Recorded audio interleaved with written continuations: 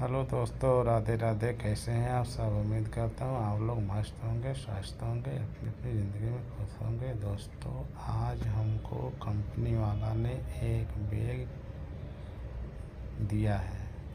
दोस्तों, पता है क्यों दिया है? दोस्तों, हम हीरो कंपनी का फेविकोल यूज़ करते हैं तो उस पर एक किलो पे दस रुपया प्लस एक पॉइंट मिलता है। हमने ऐसे सौ किलो फेविकोल का सौ नंबर पॉइंट भेगा किया और कंपनी वाले को दिया। तो दोस्तों, हमको उसने एक बैग गिफ्ट दिया है।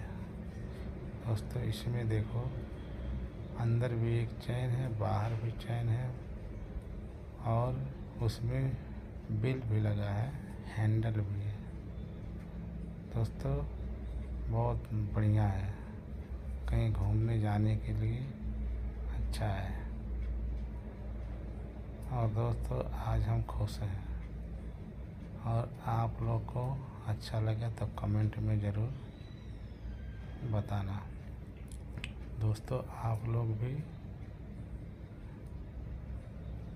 अच्छा लगे तो कमेंट में लिखना बैग कैसा लगता है।